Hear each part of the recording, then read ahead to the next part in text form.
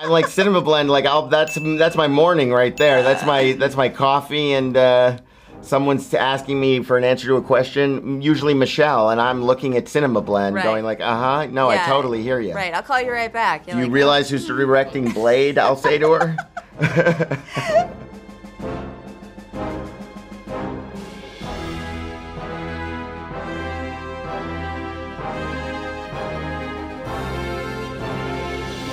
What was the one factor from the original that you both wanted to preserve?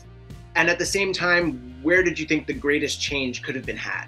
Well, I think the though it's not the most exciting answer, the the first question answer is obvious to us. It's Warwick. Warwick. It's that he grounds this universe completely, and and something about the sort of the the silhouette he struck in 1988 and the presence he brought to that movie. It just screams fantasy, credible. The world is real. The stakes are real, and the opportunity to bring that character back was at the heart of why we wanted to do this. And then the flip side of that question, just as important, was Elora Danan. Because for both of us, it seemed like this was the unusual thing that because the, the movie had been focused on this child, and we're told at the start of the movie that this baby is going to be an empress, almost unique among all IP, it begs for a sequel. You have to know what that journey is, and we as as people who grew up in these stories know it's not going to be an easy journey, and it's going to be fraught and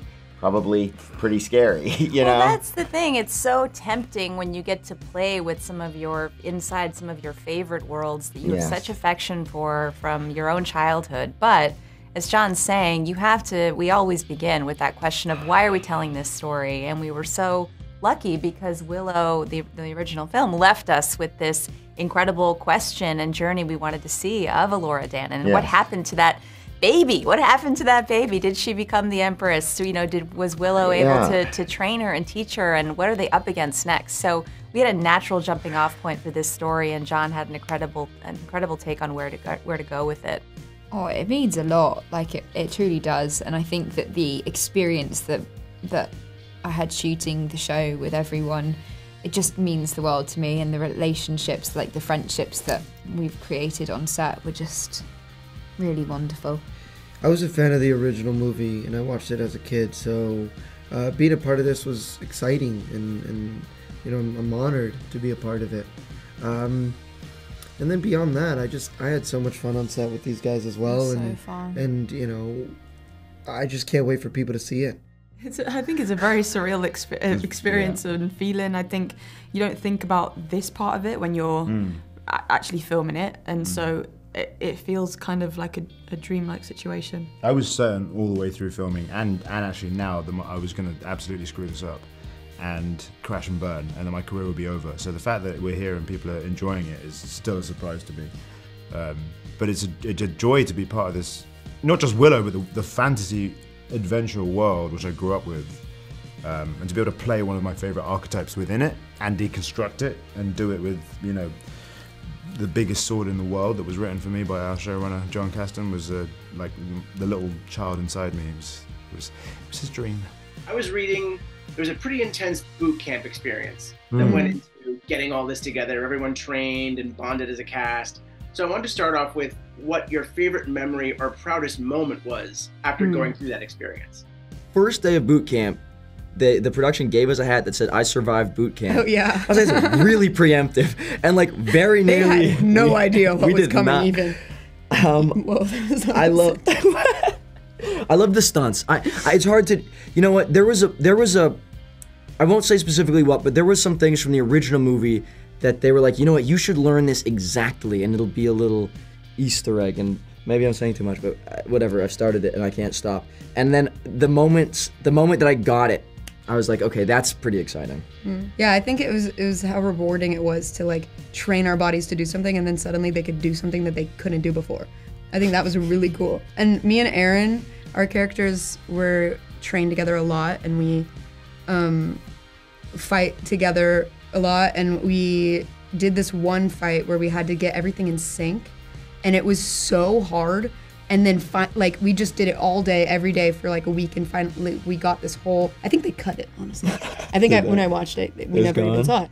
my best memory during was there were these cardboard boxes that kind of separated areas in um this big warehouse that we were doing the, the, boot camp the in. stunt yeah, the team stunt was also team. training in. Yeah, and so they would they had these boxes up to kind of like I suppose separate from the PT area. and one day, t- I think it was you you Amar. uh, Tony, uh, you know, I'm Tony. I'm you, Tony. um, uh, Dempsey and, And Dempsey, I. yeah, yeah, we yeah. just decided we were like, should we just run through them and see what happens and if we get in any huge trouble about it? So we literally like pelted ourselves at But- these cardboard boxes, and it was possibly We all did it separately. we didn't do it at the same time. no, we didn't. We all did it separately. and it was like they were having a big conversation about like fight scenes and fight choreography and what it was Super gonna serious. look like. And Amar just like dive rolls through the boxes. Dempsey just like flat back goes back. Ellie just walks like it's nothing and goes, "Sorry, where's the bathroom?" I don't remember what I did, but I do remember what you all did.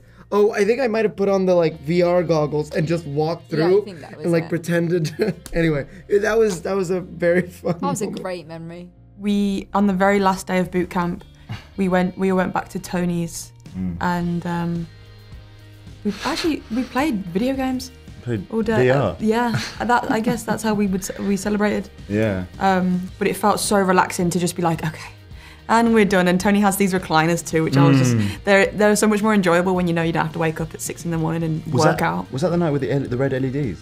No, that was Oh, like that was one of the first weekends. Yeah. I mean, I, I actually learned to horse ride, and that was such an achievement for me. And there was one horse riding session towards the end of the boot camp that Ellie and I went on. And they were like, Do you guys want to try flag riding? And we're like, What's that? And they just gave us massive flags. So we learned to like joust and ride around with these flags, and it looked insane. And I was like, I can't believe I'm doing this. I grew up in East London. there are no horses there. How did you both go about building not only the sibling chemistry, but the twin sibling chemistry? Because there's just that little extra twist when it's a twin. Mm-hmm. So it was crazy. I mean, the first time we, we didn't honestly do anything. Yeah. It was immediate. And I wish that I was really like was. this secret acting technique that makes you a twin with someone. But we just got on FaceTime and it was immediate. It was like, oh, I know you. Like, I think we literally said that to each Yeah. other. And then, Yeah. do you remember what happened like the second day that we hung out with the cashier? Of course, I remember that. Well, do you wanna This- tell? Okay, yeah, sure. Well, we were with we were together. Yeah, it was like the first or second time we were hanging out, and this guy asked us if we were twins, and we were like, "Yeah, we are." And he was like, "Oh, I would know because I have a twin." and we were like, "You're so smart." And he was holding our IDs, which had our different names and birthdays. so it was just a bit like cool. Either he's a plant for the production or he's just really. Oh, that's so. Disney was making us feel like twins the whole time. This is a Truman Show moment. yeah, no, it was definitely just like hanging out together and Yeah. like getting like discovering our twinergy to just translate onto screen like that. It was so easy, honestly. Yeah, to become the twins, The, twin, as we the call twins. it now. Erin, you've worked with the MCU and Star Wars, and Amar, you've been part of the, the Wheel of Time series. And those mm. are obviously big deals in and of themselves, but Willow's no slouch either. How would you say your experience on this project differed from those previous projects? I think the the size of the production is is quite similar, but for some reason Willow felt way more. Um, I think maybe because we were on a on a smaller, just in a smaller studio. Um, it felt way more intimate. Like I feel like everybody knew everybody, and it became like this gigantic family. Everybody got really close really quickly. And it was just us at the studio. No other Yeah, there was no. there. But I think that makes it like really like enclosed Yeah. and it feels very intimate. Yeah, it felt like Um, a campus. I mean, I think Wheel of Time, the scale again is humongous, and it was a joy to be there. And it was, but it's so much more a bigger story uh, than what we were doing. And we, we were just really creating this motley crew, like a Breakfast Club John Hughes vibe, uh, and then just throwing them into every situation possible. So it's almost quite insular in a way. Tony, just a quick note. This is your second big Disney project. We gotta get we gotta get you in a Star Wars now, or maybe, maybe we should just get everyone in a Star Wars now. I would love it. I would love it. I mean, Erin has already done it, and Warwick already has done it. But I could see, uh, I could see, you know, Amar as a big, you know, stormtrooper kind of guy. Dempsey as a, you know, ragtag type of rebel. you would be destroying the empire slowly, Yeah, bit by bit, in like an Andor series. I'm really desperate. I love Andor so Mm-hmm. much. Like I, I passionately love Andor. I would love to be like a like a little like guru out in a far, far, far planet that like speaks like Yoda but doesn't look like him and has the Force. That would be Oh, fun. that would be just be like sitting in a corner going, hmm. One thing that I think we're both fantasizing about as the future of this whole business we're in is that maybe there's the possibility that the train can go the other way a little bit. And sometimes these series can culminate in, in theatrical experiences that you need to see in a theater. I, I think, you know, Benioff and Weiss wanted that with Game of Thrones. I think there's lots of opportunity to do that, and we'd love to see that happen. I think Disney would too, ultimately.